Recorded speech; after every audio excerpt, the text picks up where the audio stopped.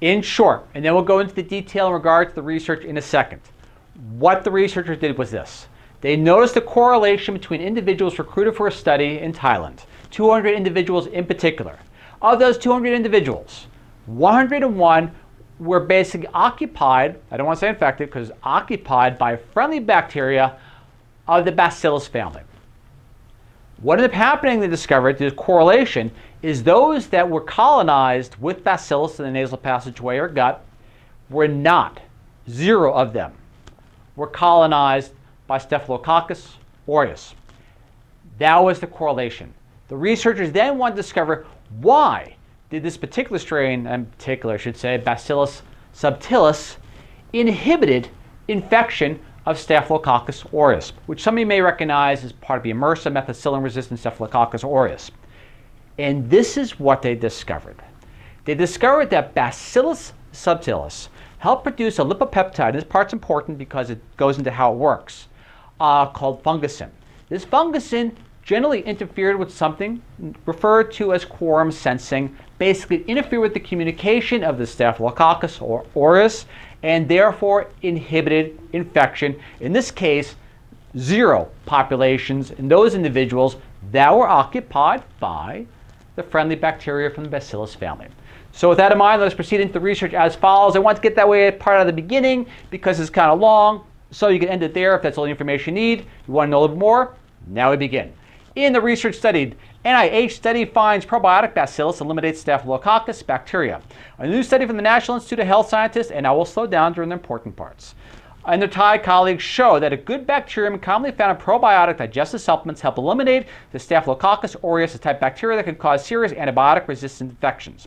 The research is led by scientists at the NIH's National Institute of Allergy and Infectious Disease, from now on be known as NIA, unexpectedly found that Bacillus bacteria prevented Staphylococcus aureus bacteria from growing in the gut and nose of healthy individuals. I like that because unexpected, it was an unexpected finding. Staphylococcus infections cause tens of thousands of deaths worldwide each year. Methicillin-resistant Staphylococcus aureus or MRSA is similar to many people as a cause of serious disease. Less well known is Staphylococcus aureus can live in the nose or the gut without causing any harm. However, if the skin barrier is broken or the immune system compromised, these colonizing bacteria can cause serious infection.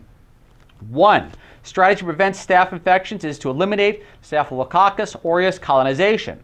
However, some decolonization strategies are controversial because they require considerable amounts of topical antibiotics and have limited success, probably because they target only the nose and bacteria quickly recolonize the gut.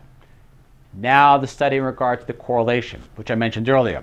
The scientists recruited 200 volunteers in rural Thailand to study this population. They speculated it would not be as affected by food sterilization or antibiotics as people in highly developed urban areas.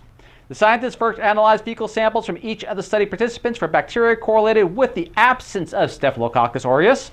From uh, basically to do where this place, they found 101 samples positive for bacillus, primarily Bacillus subtilis.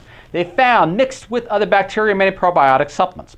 Bacillus bacteria form spores that can survive harsh environments and commonly are ingested naturally with vegetables, allowing them to temporarily to grow in the intestines. The, the scientists then sampled the 200 people for Staphylococcus aureus in the gut, 25 positive, and nose, 26 positive. Strikingly, they found no Staphylococcus aureus in any of the samples where bacillus were present. Now, why? Now they're trying to form a causal argument. Why is this occurring?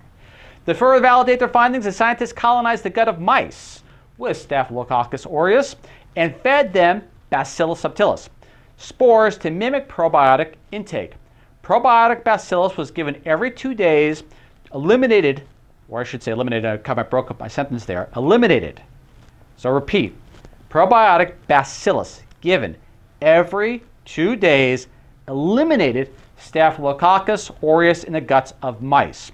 The same test used in bacillus where fengycin, remember I mentioned earlier, uh, was a lipopeptide, production had been removed and had no effect. So aureus grew as expected.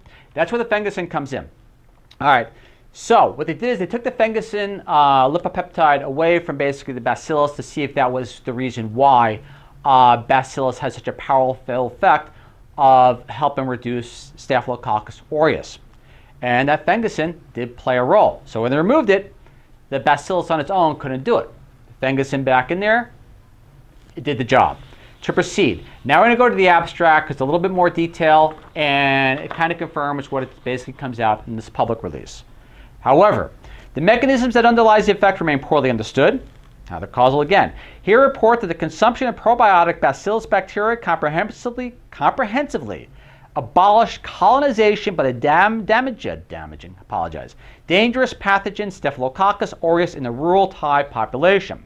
We show, the researchers, I'm just quoting, that, or, that basically a widespread class, class of bacillus the fengycin, Bacillus lipopeptide, the fengycins, eliminates Staphylococcus aureus by inhibiting Staphylococcus aureus quorum sensing, a process through which bacteria respond to their population density by altering gene regulation.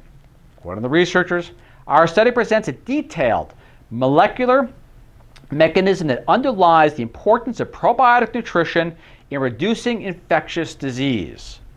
We also provide evidence that supports the biological significance of probiotic bacterial interference in humans. This is in a good way. And show that such interference can be achieved by blocking a pathogen's signaling system, quorum sensing. Furthermore, our findings suggest a probiotic based method for Staphylococcus aureus decolonization and new ways to fight uh, Staphylococcus aureus infections. To conclude, the NIAID, the Infectious and Allergy Diseases, and Thai scientists next plan to test whether a probiotic product that contains only Bacillus uh, subtilis, main reason being they're trying to find out the, the actual, uh, basically, uh, effect of what part of the Bacillus family is actually doing the job. And this is important because it may have a synergistic effect with other species of that particular family itself. So they want to see if it's just Bacillus subtilis or is it working in partnership with some other uh, unknown species so far.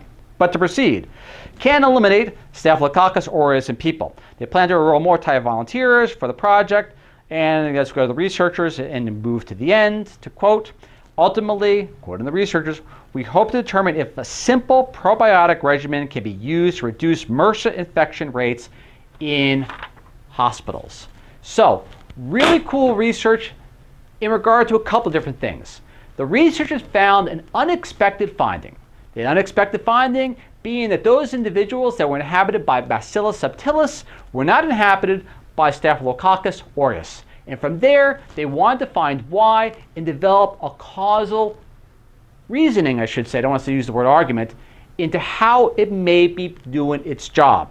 They did find out that Bacillus subtilis helps with a lipopeptide known as fengycin, and that interferes with quorum sensing. Now, for further studies, they got to make sure there's no other uh, aliases involved in this wonderful, wonderful effect of potentially benefiting tens of thousands of people into reducing and or eliminating MRSA infections. Again, this is Rapture Channel signing off. I apologize, it's a little long. Mispronounced a couple lines there. But in any case, hope you find this information of use. DOI citation will be listed so you can follow to the study itself. And as always, thank you very much for listening and look forward to seeing you all again next week. See you then. Bye.